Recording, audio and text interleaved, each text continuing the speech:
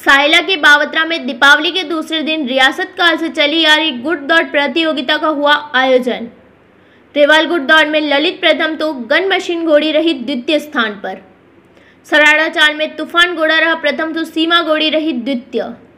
आधुनिकता की चकाचौंध में पर्व मनाने के मायने भले ही बदल गए हो, लेकिन बावत्रा गाँव में दीपावली पर्व के दूसरे दिन रामा श्यामा पर रियासत काल से चली आ रही गुट ऊँट दौड़ की परंपरा आज भी निभाई जाती है। पुराने समय से चली रही इस परंपरा को आज भी बखूबी निभाया जाता है। इसे देखने के लिए न केवल स्थानीय, बल्कि आसपास के गाँवों से भी सैकड़ों लोग पहुँचते हैं। उत्साह इस बात से भी लगाया जा सकता है कि इसमें भाग लेने के लिए घुड़सवार और ऊँट सवार कई महीनों पहले ही अभ्यास शुरू कर देते हैं। प्रतियोगिता के लिए घोड़ों को भी पूरी तरह तैयार किया जाता है। दिलचस्प बात तो यह है कि इस दौड़ का आयोजन भी ग्रामीण अपने स्तर पर करते हैं। प्रतियोगिता में अव्वल आने वाले घोड़े और ऊँट सवार को पुरस्कृत किया जाता है।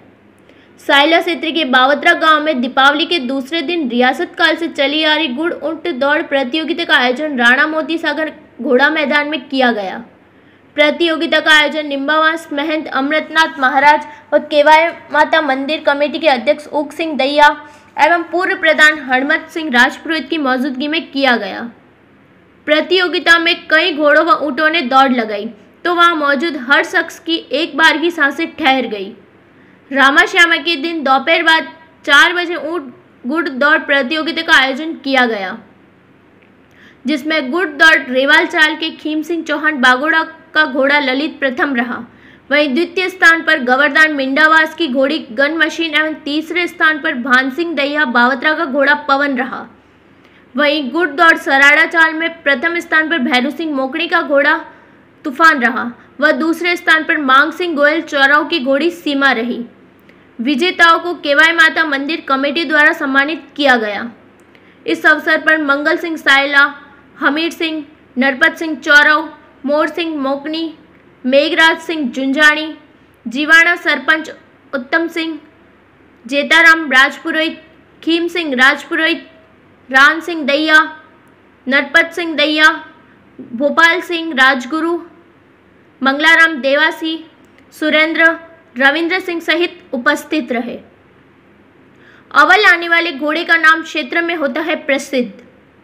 कई वर्षों से चली आ रही इस परंपरा में उत्साह से भाग लेते हैं। इस प्रतियोगिता के आयोजन के कई मायने हैं। अव्वल रहने वाले गुड़ सवार के साथ उसके घोड़े का नाम भी क्षेत्र में प्रसिद्ध होता है। भविष्य में जब घोड़े का मालिक अपना घोड़ा बेचता है तो जैसी नस्ल वैसे दाम वाली बात के आधार पर घोड़ों की बिक्री होती है। कोई लाल बुलेट तो कोई फाइव स्टार दिखाते हैं अपना दमखम। दौड़ में शामिल होने वाले घोड़ों के नाम भी मशहूर होते हैं। इस दौड़ में शामिल होने वाले किसी घोड़े का नाम लाल बुलेट तो किसी का बादल होता है तो किसी को सुल्तान नाम से पुकारा जाता है। दौड़ में जो घोड़ा अव्वल रहता है, उसका नाम पूरे क्षेत्र के लोगों की ज़ुबान पर रहता है। जुटती है हज़ारों की भीड़।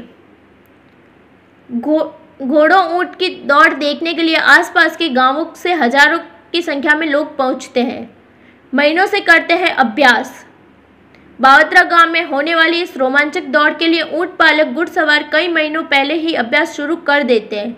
इसके लिए वे अपने घोड़ों, ऊँट को ट्रेनिंग भी देते हैं।